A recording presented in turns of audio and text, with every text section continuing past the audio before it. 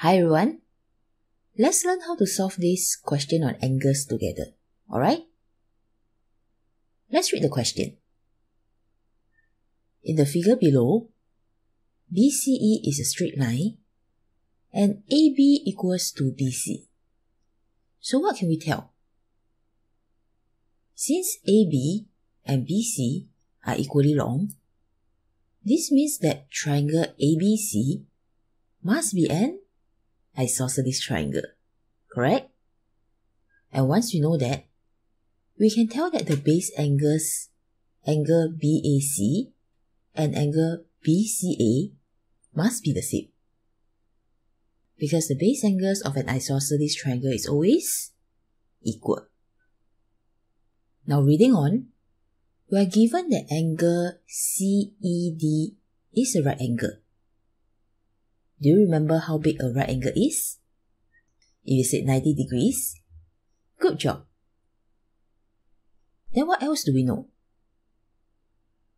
We know that angle ACD equals 88 degrees and angle CDE equals 55 degrees. What are we supposed to find? Find angle ABC. So let's try to make use of what we know so far to find this angle, okay? We are going to start with triangle CDE. We have three angles in the triangle. And we already know the value of two of these angles, right? So the key here is to know that the sum of all angles of a triangle add up to 180 degrees. Do you remember that? Now once you know that, we can subtract the two angles that we know from 180 degrees to find the value of angle DCE. Let's do that.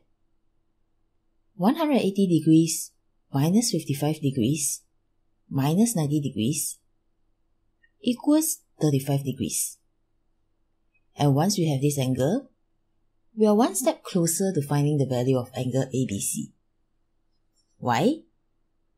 Because we can now make use of another angle rule, and that is all angles on a straight line add up to 180 degrees. So this means that angle ACB plus 88 degrees plus 35 degrees equals 180 degrees. Following so far? Then how can we find the value of angle ACB? Well, if you thought of subtracting 88 degrees and 35 degrees from 180 degrees, you're right. This gives us a value of 57 degrees. And now we are even closer to our answer than before. Can you find the value of angle ABC in one more step? Now let's make use of the sum of the angles of a triangle rule again, okay?